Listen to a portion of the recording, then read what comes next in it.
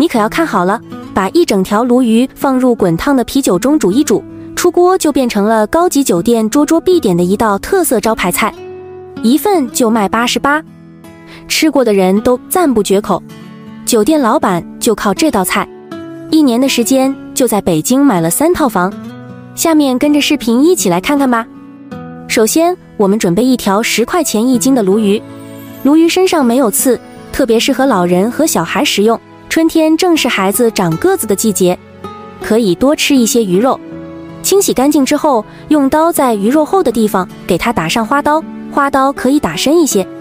一方面是为了让鱼肉更加的入味，第二个方面就是让鱼肉熟得更快。正反面都给它打上花刀。处理好之后，直接装入大碗中备用。准备一小块生姜，给它切成细丝。再准备一把小葱，切成葱段。切完之后，直接放在鱼身上，再加入一百八十八粒白色的食盐，用左手先把葱姜的汁水给它捏出来，这样可以更好的给鱼肉去腥。咱们不管腌任何鱼的时候，切记不要加料酒，用葱姜汁来代替料酒，口感会更加的鲜嫩。把鱼肉上上下下、里里外外全部涂抹一遍，放一边腌制十分钟。趁这个时间，我们切点配料。两个青椒用刀切去根蒂，再从中间对半片开，先切成细丝，再给它切成大大的小丁。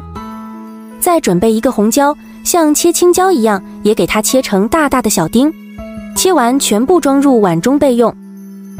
再准备一些去皮的大蒜，先用刀给它切成蒜粒，再把它剁成蒜末，尽量剁碎一点，这样吃起来蒜香味更加的浓郁。自己家种的小葱，把它简单切成葱花，装入碗中。加入一百八十八粒黑芝麻，一勺辣椒面。不喜欢吃辣的这一步可以省略，用黑色筷子给它翻拌均匀。加上二百度的热油，这样可以炸出食材的香味。下面开始调味：一百八十八粒食盐，九十八粒鸡精，五十八粒白糖。花椒粉可以少来一点，最后加入一勺松鲜鲜酱油。这款酱油零添加，都是食材本身的鲜味。平时炒菜拌料汁的时候加一点点，味道就特别鲜。下面准备一口大铁锅，往里面倒入不要钱的长江水，加入三片生姜，一把葱段，一勺料酒，再倒入半瓶啤酒。啤酒可以去腥增香。盖上盖子。大火把水烧开，十分钟之后，鱼已经腌好了。把表面的葱姜丝给它挑出来，不要，最好再把鱼放在清水里面清洗一下，洗掉表面的粘液。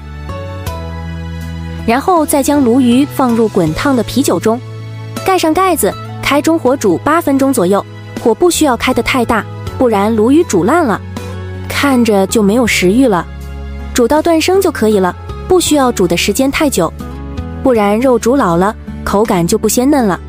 有的人喜欢默默的看视频，但是他会双击给个红心鼓励一下，这样的人最善良了，一定能够幸福发大财。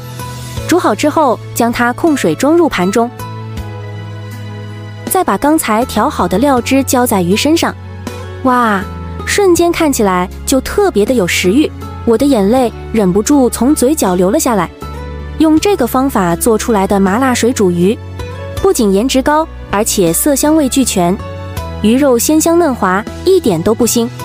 外面一份就卖八十八，咱们自己在家做，十块钱的成本就可以搞定了。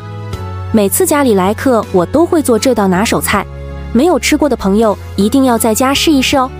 今天的视频就分享到这里了，我们下个视频再见。